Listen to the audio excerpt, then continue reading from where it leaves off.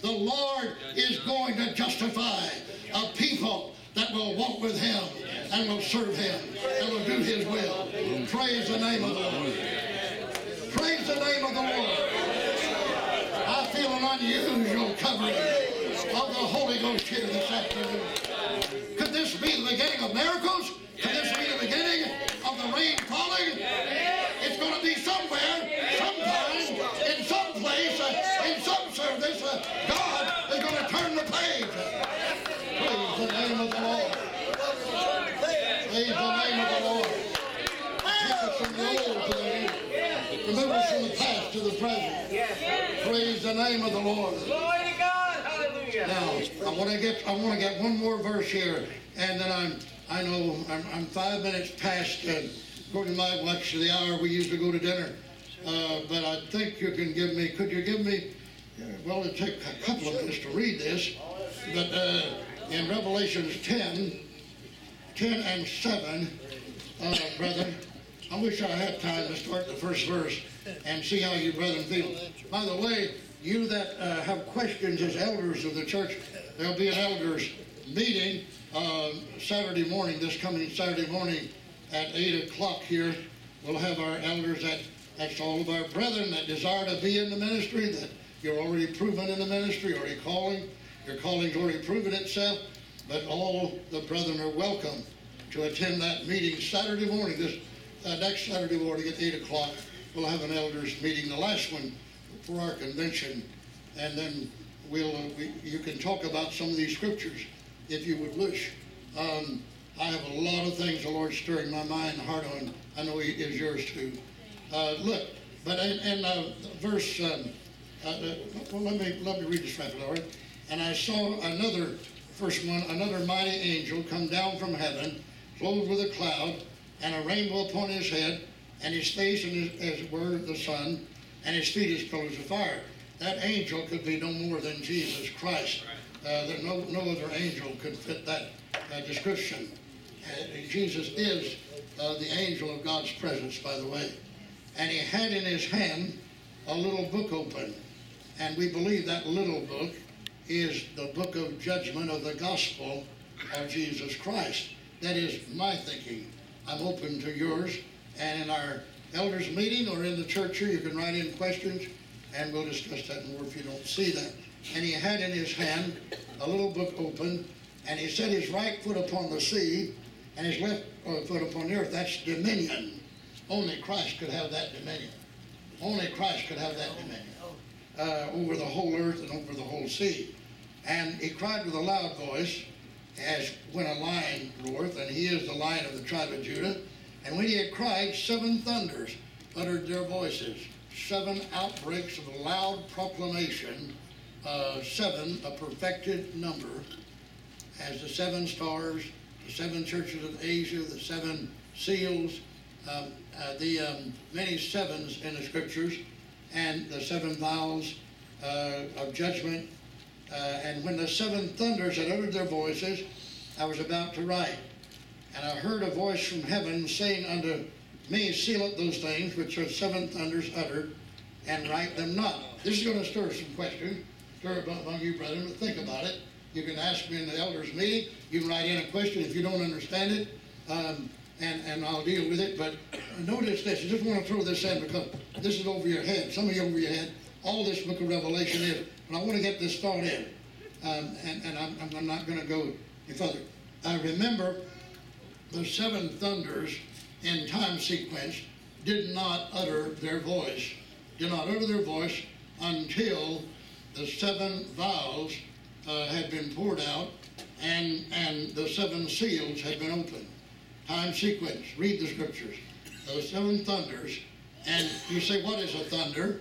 I believe it's a man of God uh, in an angelic body uh, that is uh, given the authority to utter something that's been hid since the book of Revelations. And John could not even write it. John could not even write it. It isn't written down. So to get it, to get an understanding of it, somebody will have to utter an understanding, won't they? Yes. You can't read it, can you? It said write it not down. Uh, so, so uh, here, well, how in the world will you get it? We'll have to get it in an angelic body in the role of an overcomer and we'll have to get it directly from Christ himself, uh, who has the little book, uh, has, and, and has the understanding. Now these seven thunders uttered their voice. And, and, and verse 5, and the angel, I'm hurrying here, which I, which I saw stand upon the sea and upon the earth, lifted up his hand to heaven, and swear by him that liveth forever and ever, who created heaven and the things that therein in the earth, and the things that therein are, and the sea and the things which are therein, that there should be time no longer. Now, when when is this time no longer? Not uh, time is with us. We're living. We we have a calendar. We have a time. We have a appointed time to live, appointed time to die. We have time. We live in time sequence. The church is in time sequence. Everything is in time sequence. We have. We're all in time. We're still in time.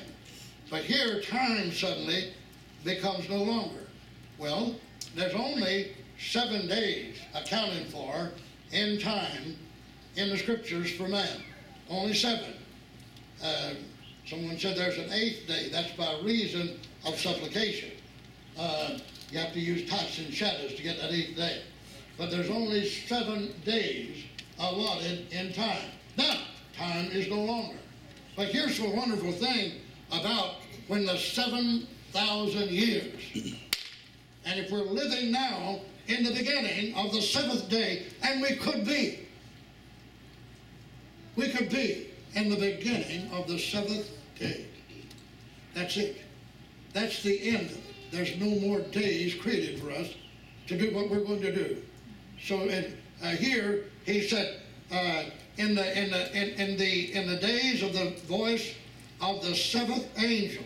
Now, this is after time is no longer.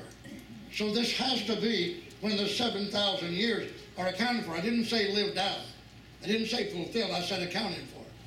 Uh, uh, and because there's work to be done yet in the seventh day. See, God, God did two things in the seventh day. He rested and he placed man out of the garden. He's going to do two things on the seventh day now. He's going to rest and he's going to bring man back in the garden. Amen. Hallelujah. You get that? Yes, sir, I got it. In, in, in, the, in, in the beginning of the creation, he did two things. God rested, then he put man out of the garden. Now, on the seventh day now, the seven thousand years, he's going to rest again. But he's going to bring man back in. Because man has to come back in to a new heaven and a new earth wherein dwelleth righteousness. Praise the name of the Lord. And I'm living right on the edge when God is going to rest and bring back again the Eden of God, Praise, paradise. praise God. That's why I feel heaven here right now. Yeah, yeah. Praise the name of the Lord. No more cripples there. No more blind there. No more destitute there. No more, no more of the world there. God will have dominion. His left, uh, his, uh, his right foot will be on the sea, and his left foot on the earth. All right. But in the days of the voice of the seventh angel, when he shall begin to sound, the mystery of God should be finished, as he had declared it to his servants, the prophets. Praise God. I won't read the rest of that because I'll take more time. I promise to take just a moment there. In the days of the seventh angel, did you know there's only one angel qualified to be the seventh angel? And that's the angel that was in the beginning of the, uh, the sixth day and in the seventh day of creation. That was Christ, the angel of God's presence, uh, the Lord God. And, and now there's only one angel, the angel of his presence. Praise God. Jesus. So, so, I want you all to think about, get your mind off uh, everything else you can, and prepare yourself for the coming of the Lord. Praise, Prepare yourself, praise. prepare yourself for the bride. Prepare yourself for the bride company, because Jesus is coming soon. Praise the name of the Lord. Have you enjoyed the day? Have you enjoyed the day? Yes, praise God. Is it Robert? Is that right, Robert? Robert, I'm so glad you're here as a visitor the first time. And after today, you won't be a visitor. I'm happy, Robert, you came. Now, all of this message, I know, does not fit you nor belong to you, but some of this message belongs to you. You have come home. You've come to the right place. Stay with us long enough to get what God wants for you. And your whole life will change, Robert. Yes, Every bit of your life will change. You'll have a new life. You'll have a new reason to live. You'll have a new family. And Jesus will come in your heart and life and fill your heart and life. How many will pray for my dear brother here? Amen, amen, amen. Please have dinner with us. And have dinner with us. And tonight, in the night service, uh, listen, God will use somebody to throw the net out. Somebody to get the net out. Uh, Brother Hand, I, I apologize to you for taking this time. Uh, Brother Richard Hand could feed our souls. He has a gift from God, and we give honor to a man of God that is doing a, a great and wonderful work up in Chattanooga, Tennessee. Your wife Linda, but he's going to be with us tonight, and I will just sit and listen like a, a schoolboy learning. Praise the name of the Lord. We've had a good day today, haven't we? Have you, have you enjoyed being here with us? Amen. I've enjoyed having you. May the Lord bless you. There is a wonderful meal in that dining room. There is a wonderful meal. And Brother Dean is standing there with his apron on, looking at me and saying, it's time, Brother Marlowe. It's time. Uh, stay and eat with us. Uh, you ministers, I honored you first. You go. Uh, Brother Carlson, someone uh, help you into the dining room if you need that assistance. I think you do. Um, we're so glad that you're home with us today. And I might say when I'm talking about getting ministers on their feet, I'd like to see Brother Carlson back on his feet in our assembly here.